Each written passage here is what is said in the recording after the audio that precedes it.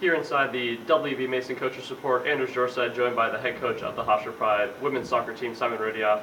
Coach, thanks for joining us today. Thanks for having me, Anders. A 3 0 loss to Drexel on the road, 2 1 loss to Delaware. Your overall thoughts on those games? Obviously, extremely disappointed. Um, traditionally, over the last three or four times we've played at those places, those venues, we've struggled. Uh, I don't think we've got more than one point out of the last five games away at Drexel slash Delaware. So traditionally, it's probably where we expected to be or normally, but unfortunately, that's not our expectations as a program. Uh, we expect to beat Drexel, we expect to beat Delaware, and uh, especially on road trips, at least split, and we didn't. We didn't play very well, and uh, unfortunately, against these these kind of teams, you can't day at the office, and that's exactly what we did. What do you think has allowed those teams to bottle you guys up uh, in those venues in the past? Well, Drexel's a very tough place to play. Um, it's a turf turf field which is similar to ours, but for some reason it's just the environment. And, uh, and maybe Drexel play extremely well at home. And you've got to give credit to them. Uh, Delaware's a grass field, which is obviously a different surface to us. And uh, again, I think I think all teams in our conference play a little bit extra hard at home, and uh, then you've got to deal with the travel and all that other aspects. But no excuses. It was just uh, you know both performances were actually not bad, uh, but we gave up critical goals at critical times of the game. And when you do that, you're not going to win in this conference. Your team earned 10 corners in that uh, match against Delaware. What do you think that says about your team's offense to be able to to uh, to get those consistent corners? Yeah, again, uh, when you look at the overall play on both games, it was fairly even. Um, you know, and I think at, at certain times in each game we, we dominated proceedings for 20, 25 minutes. Unfortunately, we gave up two soft goals in both games early. And when you dig a hole of two goals in a, a conference game, it's going to be very difficult to get out of that. And that's what we found. And uh, we have to tighten our defensive shape. We have to tighten our individual mistakes.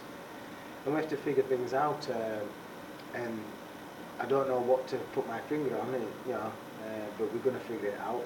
And hopefully this weekend we'll see the uh, just desserts of that. Carrie Baum, she took three shots in those combined two games. Do you think she's going to become a part of your offense going forward? Yeah, uh, she kind of she got injured early on, which kind of took her out of the the fray a little bit. Uh, I didn't really fully recovered. Uh, we gave her another chance uh, at Drexel, and I thought she came on and, and made an impact for that 15-20 minutes, and therefore it forced us to, to put her in the starting lineup uh, the following Sunday. The the issue with this team is not much consistency going on with certain players. Uh, so the starting lineup is not as uh, set in concrete as it us- usually is for me, uh, which is an in- interesting place for me to be in. Um, but Kerry Baum did play well again on Sunday, we would expect her to play a bigger role moving forward this weekend. And just looking forward to this weekend, you have two matches against the College of Charleston and UNCW. First, just looking at the Cougars, what do you expect to see in that matchup against Charleston? Well, Christian, I, I've got a lot of respect for how he, he continues to to play the style he does. Uh, they play a very beautiful style of soccer, and he, he's continued to keep that philosophy, and it's paying dividends this year. Uh, they've gone eight games unbeaten, which is a testament to a very good team. It's going to be tough. We're playing away again on grass, uh, and we're going to have to we're going to have to find a way to battle and, and find a way to get points.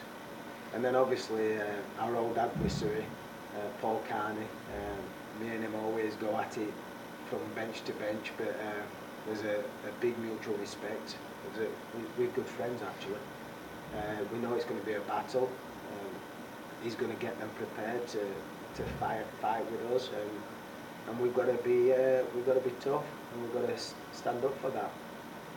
It's two tough games again. Uh, starting the conference uh, four away games is never easy, and uh, it kind of kind of is a little bit unfair.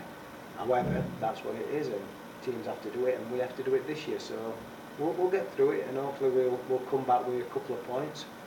Uh, ideally, two wins, uh, but right now we'll, we'll grab anything at the moment. Besides what you just said about staying tough on the road, what do you think the team needs to do to get a couple of wins there? Well, again, we have to stay, keep tight. Um, as I mentioned, Drexel and Delaware, we gave up two soft goals within the first 20, 25 minutes of both games. You can't do that. Um, a goal in each game from set pieces, uh, poor defending, and then the, the second goals were just poor individual errors. And uh, very uncharacteristic for the players who made those errors, but unfortunately that's what happens and, and you just can't do that in, in this conference. This conference is tough, a lot of parity, and if you if you give teams a chance to capitalise on, on mistakes, they will do, and that's what we found this weekend. He's Simon Riddiough, head coach of the Hofstra Pride women's soccer team. Thanks for joining us, coach.